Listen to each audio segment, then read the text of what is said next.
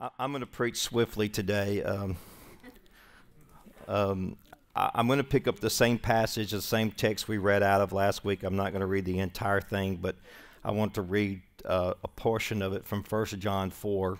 It says, Those who are loved by God, let his love continually pour from you to one another. Because, everybody say it, God is love. And everyone who loves is fathered by God and experiences intimate knowledge of Him. The one who does not love has yet to know God, for God is love. And the light of God's love shineth within us, and when He set His matchless Son into the world so that we might live through Him, this is love. And He loved us long before we loved Him. Can everybody say amen to that? And so He loves me more than He loves you. How many believe that you're his favorite? Yeah. Yeah. You ought to tell somebody he's my fa- I'm God's favorite. I'm God's. Go ahead. If you don't believe it, nobody else will. and it was his love, not ours. And he proved it by sending his son to be the pleasing sacrifice offering to take away our sins. Can we just rejoice over that? Come on. Can we rejoice over that? Because we're all a bunch of dirt bags that God loved while we were yet sinners, and He just come to love us.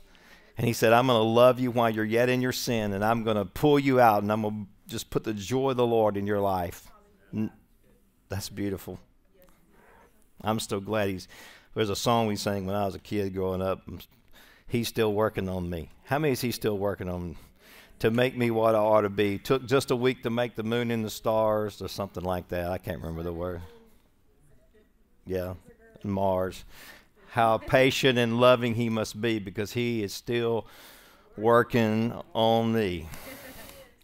He's still working on me. Thank God for that. And delightfully, loved ones, he loved us with such tremendous love then loving one another should be our way of life. I want to talk about today something that I love to preach about. One of my favorite s- subjects to preach on is loving other people. And it's so easy for us to say we love when it don't cost us a doggone thing. It's so easy to say, "Oh, I love. We got the we got love. Just oh, I love you. You ever people tell you they just say, "Hey, I love you, man," and you're thinking, "No, you don't." Yeah. I love you as long as it doesn't cost me anything. And we throw that word around, love around, just very frivolously. But really, it's a very, very, very, very, very valuable, priceless word. To say I love you should be something that's something with meaning and power and passion not just, hey, dude, what's up? I love you, man. So casual. I love you, bro. I love you. I love you, man. Hey, I love you, man. But there, there's something that when you really love, it costs you something. And Jesus laid down his life. He said, This is going to cost me something, but I want to show you what love looks like. And we're not defined by how much we are loved, but we're defined by, defined by how much we love other people so often in our selfish world, and I talked about this last week, we always are defined, we feel defined by how much people love us. But the truth of the matter is, is how much do we love people should be what defines us and what makes us a lover of God and a lover of people. Because in the end, nothing we do or say in our lifetime will matter as much as how we love. Now, how many in here like gifts? Okay, come on, I want some truth in here. How many like gifts? How many love Christmas time? How many love birthdays? I love birthdays the most because Christmas time everybody's getting a gift, but birthday I'm just getting a gift. Right? Right? I didn't really understand birthdays till I started hanging around with Michelle. Because Michelle don't have birthday, she has birth month. And she works it all the way to the end. She works that birth month. Yeah. And and so when I was a kid growing up, we had birthday parties, and there'd be a few little things, some cake and ice cream. But now birthday parties are like, I mean, they're like festivals. It's crazy. It's crazy what goes on at a birthday party, and and and. Uh, but birthdays or parties are very special. It's a very time of celebrating and, and, and loving people and showing your love for people. And uh, I think birthdays are important, and we love gifts. But the scripture tells us it's more blessed to give than it is to receive.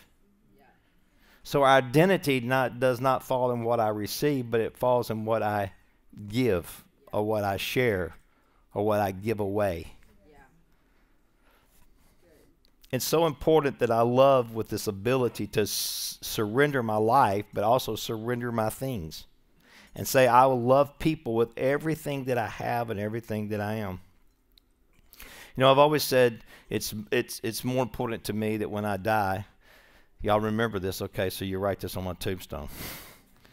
it's more important to me that says that he loved others than to say he was a good dad or a good husband or a good preacher or a good anything else because if I can if I can follow the commandment to love the Lord God with all my heart, soul and might, and if I can love others the way that he's loved me, that will be what I would like to be said about me.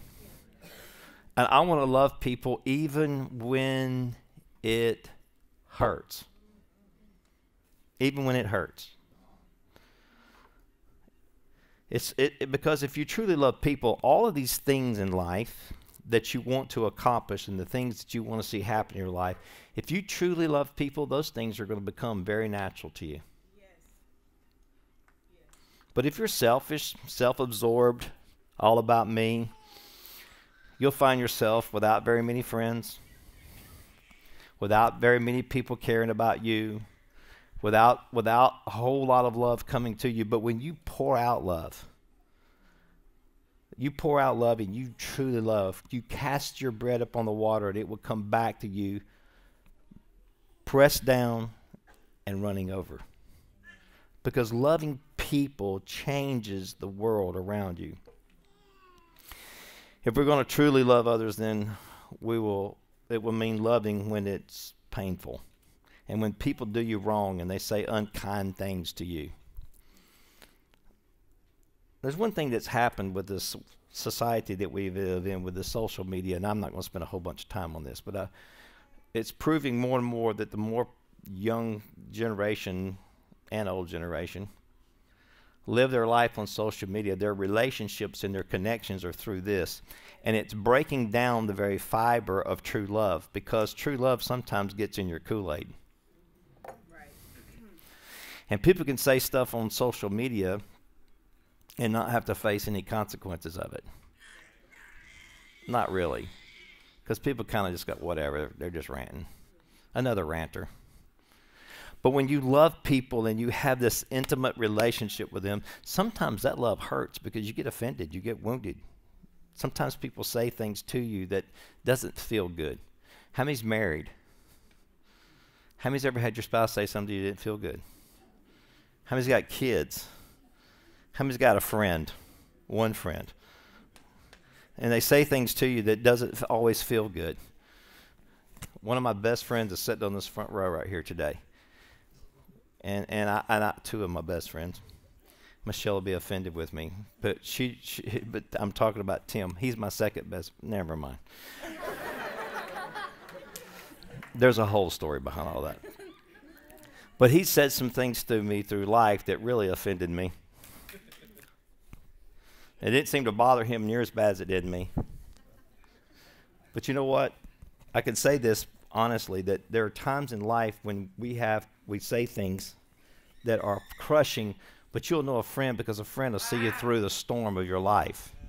When life gets difficult, they hang with you. But the Bible says to have a friend, you must what? Be a friend. And I preach this so many times because I don't think that the church is where we are to be in loving people.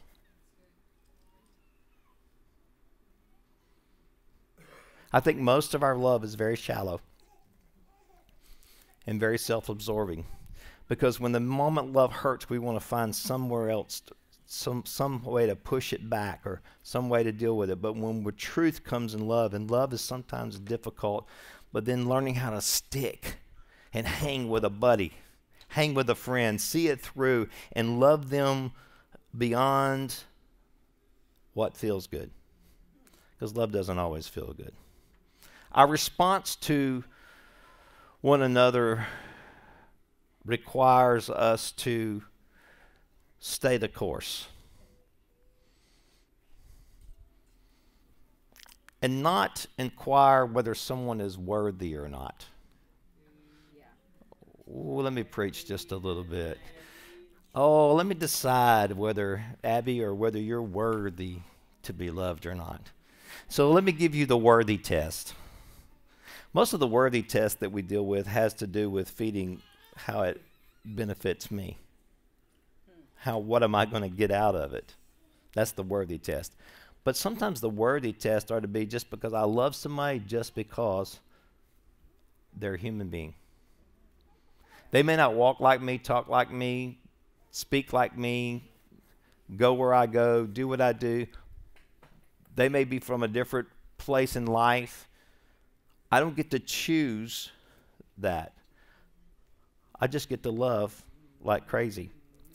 Let's talk about loving like crazy. What does Jesus say about loving like crazy? He says this in Luke 6. He says, But if you will listen, I say to you, love your enemies and do something wonderful for them in return for their hatred. Mm. Well, if you can't say, oh, amen, say, oh. It didn't say, it, it, let's read that again. But if you say you love your enemies, then do something wonderful for them in return for their hatred.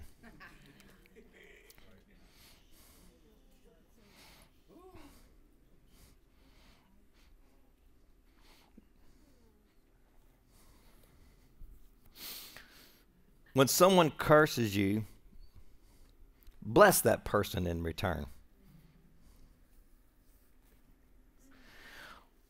when you are mistreated and harassed by others, accept it as your mission to pray for them. Oh, come on, somebody. It's getting quiet in here, all right? To those who despise you, continue to serve them and minister to them. If someone takes your coat, give him the gift of your shirt as well. Oh, come on, let me preach now. If someone steals my coat, someone took my coat, and it's cold now. I'm not talking about took my coat in the summertime when I didn't need it. But in the wintertime, he said, if someone takes your coat, ask them if they want your shirt also.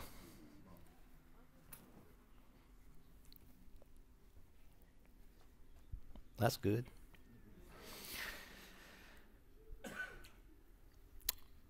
To those that despise you, contend to serve them and minister them. If someone takes your coat, give him your gift, uh, your shirt as well. And when someone comes to beg from you, give to that person what you have. And when things are wrongly taken from you, do not demand them to be given back.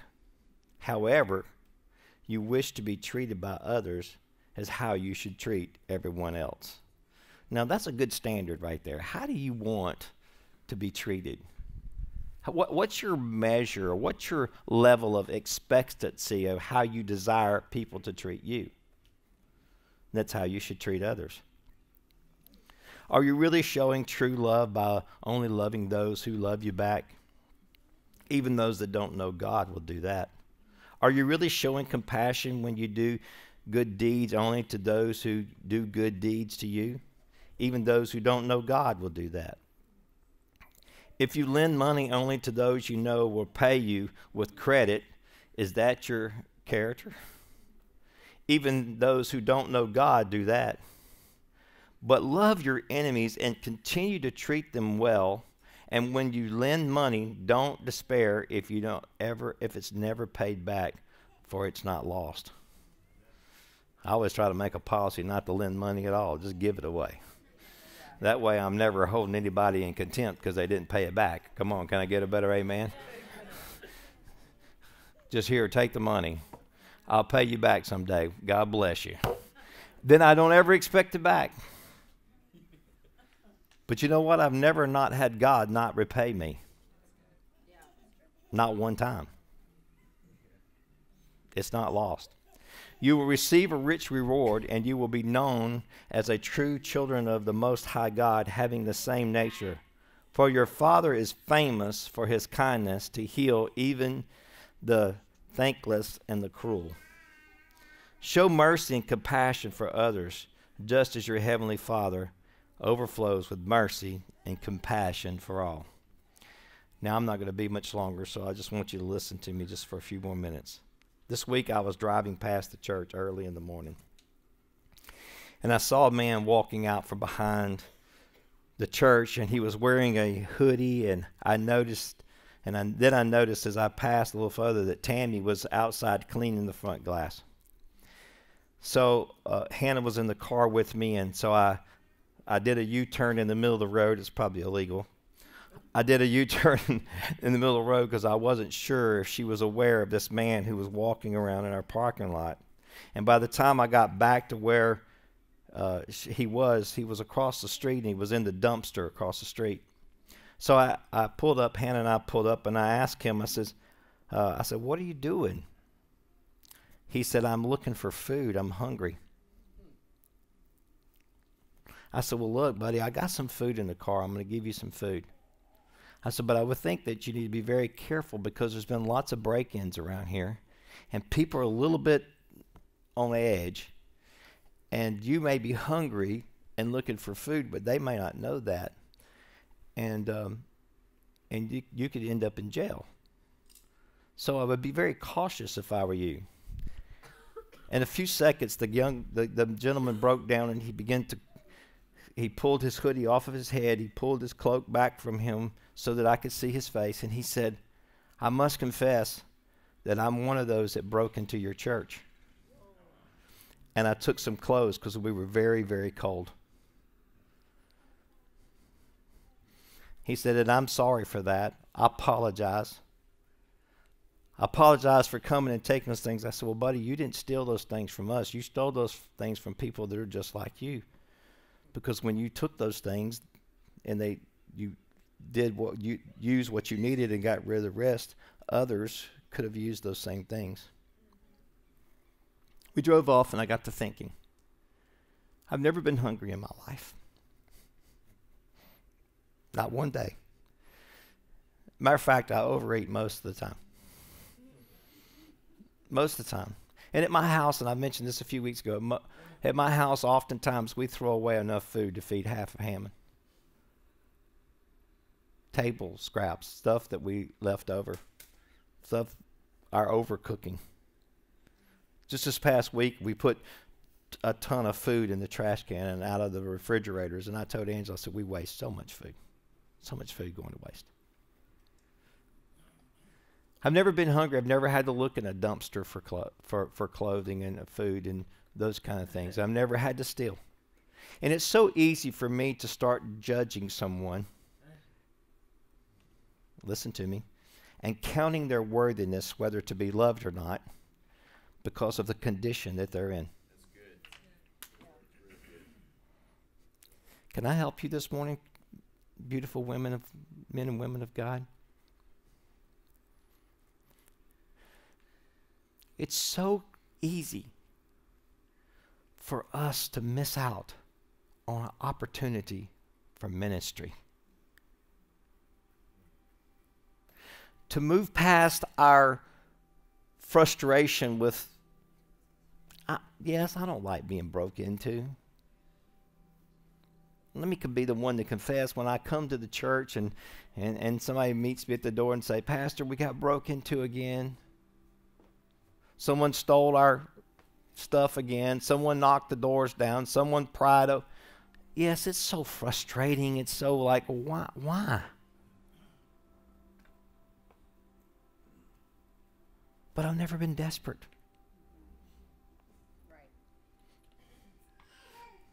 As a matter of fact, most of us in this room, maybe not all, but most of us in this room are pretty spoiled. most of us in this room have been in the standards of what real poverty is, we've been born and raised with a silver spoon in our mouth.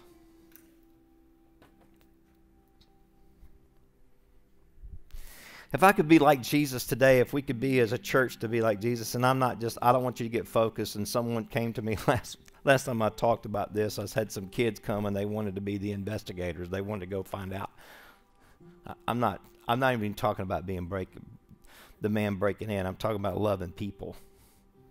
I don't want you to lose your focus this this morning because there's there's people all around us every day and and some of these people that are around us, maybe they're not poor, maybe they're not breaking in buildings, maybe they're not stealing clothes or trying to find some food. Maybe they have all the money in the world. They have everything in life, but they don't have a friend.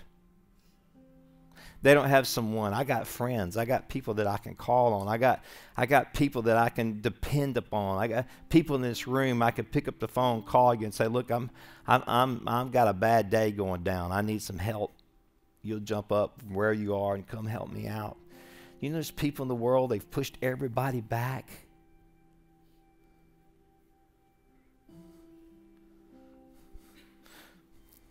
I had a friend one time I called up and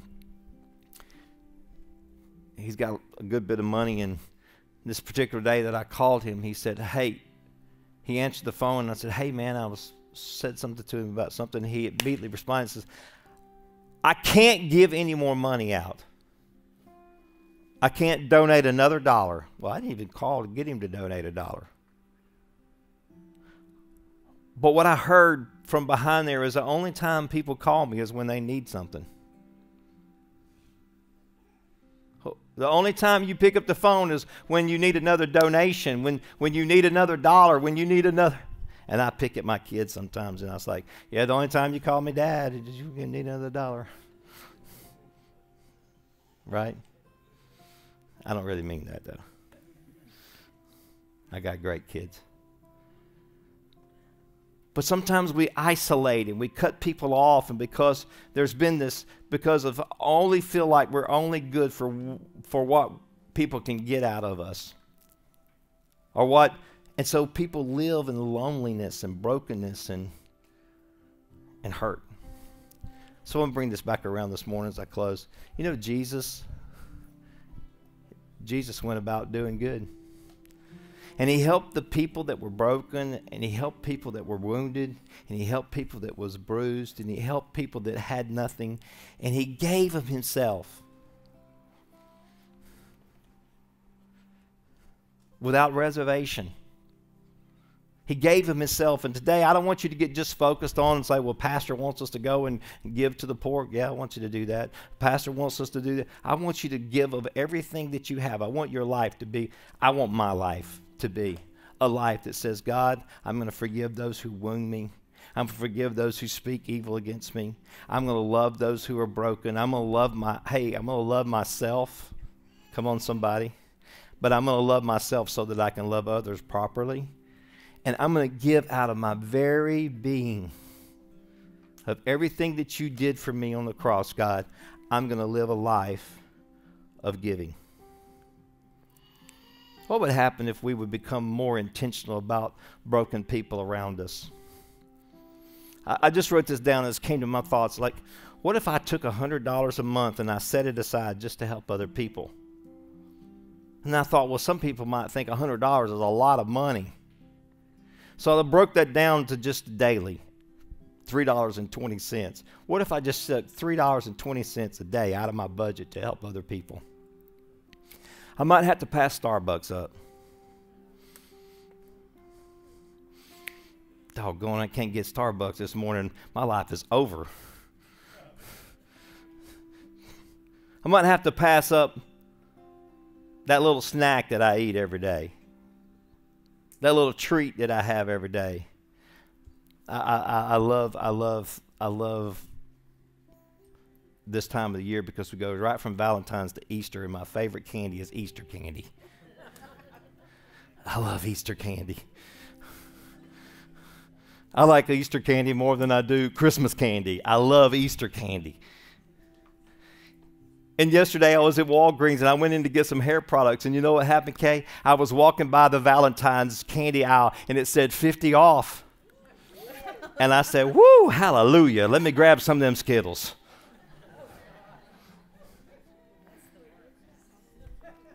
Come on. I didn't even think twice about spending a few extra dollars on a little 50 off candy. For me.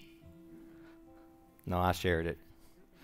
But nevertheless, it's just the little bitty things that we don't think about every day in our life, how we could really change somebody's life with a little blessing, with a little love, with a little care, with a little tenderness, with a little, hey, buy them a meal, hey, write them a card, hey, send them some kind of love. Share your life with other people. And so, in this Valentine season, we talked about loving God last week, and we talked about how, how we should love God with all our heart, soul, and strength. But then he says, Love your neighbor as yourself, and how we could just go to the next level as a Christian. Not don't don't wait for somebody else to do it. Just say for me, for me. I want to go to the next level. Marvin, I'm gonna be responsible. I can't be responsible for Miss Deborah. I got to be responsible for Marvin. Marvin's going to go to the next level of loving people. I'm going to love like I've never loved before. I'm going to give my heart like I've never given my heart before. I'm going to share the goodness of God in my life like I've never shared before. I'm only responsible for me. Somebody says, well, we can't change the whole world, but we can change one person's world. We could change one person's life. We could transform one person's day. It would be worth it all. And for my third closing, I know I said I was closing two times already. So for my third closing, is we got so many opportunities to do that. Matt, I want you to stand for just a minute. Come up here, Matt. Just come up here. Come up here. Um, Aaron, come here for just a minute. Have y'all ever seen Aaron's frown? I've never seen Aaron frown. Come up here. John, I want you come today and represent Mexico. Come on up here, John.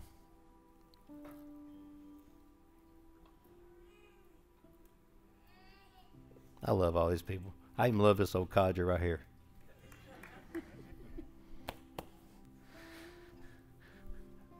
Taking the Mexico team in this week. They leave Thursday for Mexico.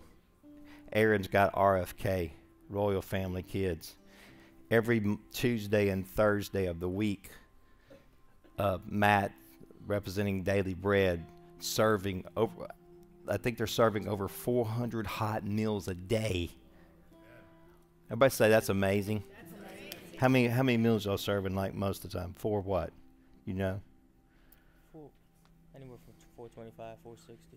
425 to 460 meals every Tuesday, and Thursday. You know what they need? They need hands. You know what she needs? She needs hands. You know what we need in Mexico? We need hands. We need people. These are just opportunities that we have right here that are organized in this church so people can help. It doesn't include your daily life and the people you bump into and just becoming your everyday routine doesn't include the outreaches that we do. It doesn't include all that. These are just three opportunities that we have right here in this house that you can just take everything that God's given you to serve other people with and transform the world. So why are you saying that, Pastor? I'm saying because if you say, well, I don't know what to do, I'm giving you some opportunities to, to plug in. I'm giving you some places that you could plug in. I'm giving you some places you could say, hey, I'm going to I'm gonna get up and go serve somebody opportunities to change people's world. I want you to stand with me this morning. I'm thankful for what's happening here this morning. I'm thankful for the move of God that we feel, the presence of God that's in this house. I'm thankful God just begin to speak to our hearts this morning to break off the, some of those things out of our life and and see God do some amazing things. Over the next few weeks, we're going to see lots of changes around this house, and, and there's lots of opportunities if you want to come help to serve here at the house. We're making some changes, but I, am not even going to get into all that today. I just want you to know I, I was supposed to say that at the beginning of the message.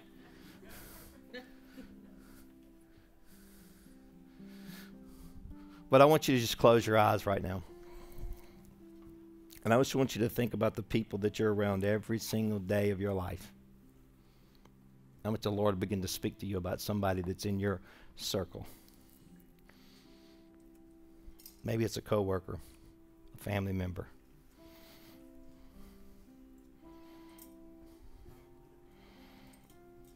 So, Pastor, I don't have anybody in my life. Well, maybe you need to get out more. I want you to just think about somebody that God could put in your that's put in your circle that you could you could help, that you could speak life into. Now I want you to start praying over that person right now. Maybe somebody that, that you need to forgive. You need to say, I'm going to forgive them and I'm going to love them.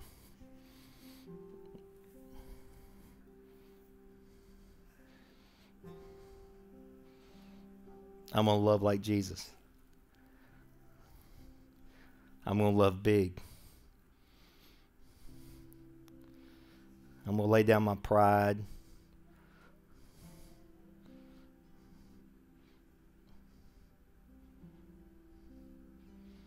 Pastor, you don't know how bad they've hurt me. Look, once you free yourself from that just by loving them, I'm going to love big. Let me pray for you this morning. Father, we just thank you.